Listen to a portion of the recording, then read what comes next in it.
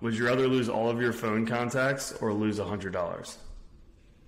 all the contacts because the thing is, you, you, you store too many contacts on there. I've been looking at your contacts. Up. There's a person I haven't spoken to in about 15 years. Why do I still have their number? So in a sense, losing your contacts is a good clean refresh. Losing money, though, come on. All right. What about this one? Would you rather be stung by a jellyfish or give up your favorite app for a month?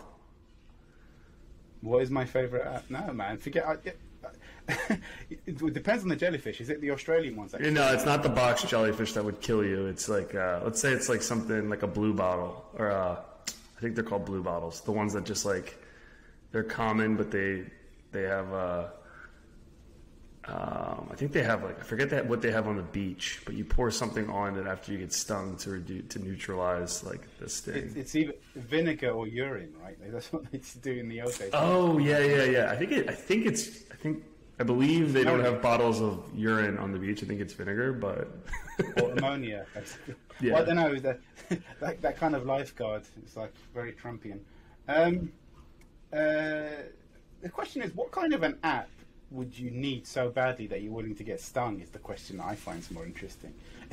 like, yeah, is I mean, an I could, that? I mean, maybe you like love music and you can't go a month without Spotify, but for me, I would give it up. Even like Gmail, something that's just more from like a productivity and like communication standpoint. I could give up Gmail for a month. I mean, it would be tough from a work perspective, but just go on holiday, isn't it? yeah, but then you just pick the month and you just take a couple of weeks off. Yeah, look, no stings. uh, I, I, don't know. Yeah, no, unless it's like a life-saving app where you need. Uh, but then that's like saying, would you like to die or get stung by a jellyfish? Anyways, next one. yeah, we're really we're kind of like carving.